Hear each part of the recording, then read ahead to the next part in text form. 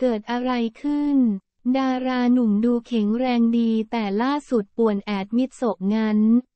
จู่ๆก็ป่วยขึ้นมาซะอย่างนั้นสำหรับนักแสดงหนุ่มเต๋าอดิศรอัธกฤษหรือที่หลายคนรู้จักในชื่อ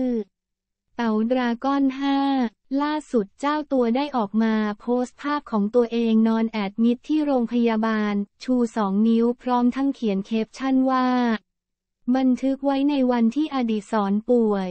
คุณหมอครับผมมีอาการเป็นยังไงบ้าง อาการไอเกิดจากไวรัส อาการรักเกิดจากคุณ เพราะเนื่องจากช่วงนี้ ความคิดถึงระบาดหนักกว่าไวรัส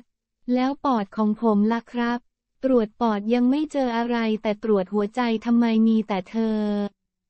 แล้วรักษายังไงดีครับ หมอว่าพอเท่านี้ดีกว่าครับ เครื่องหมายสี่เหลี่ยมผ่ามเครื่องหมายสี่เหลี่ยม พลังบวกเครื่องหมายสี่เหลี่ยม ป่วยเครื่องหมายสี่เหลี่ยม พรุ่งนี้ก็หายแล้วเครื่องหมายสี่เหลี่ยม นักรบเครื่องหมายสี่เหลี่ยมสู้ต่อลุยต่อ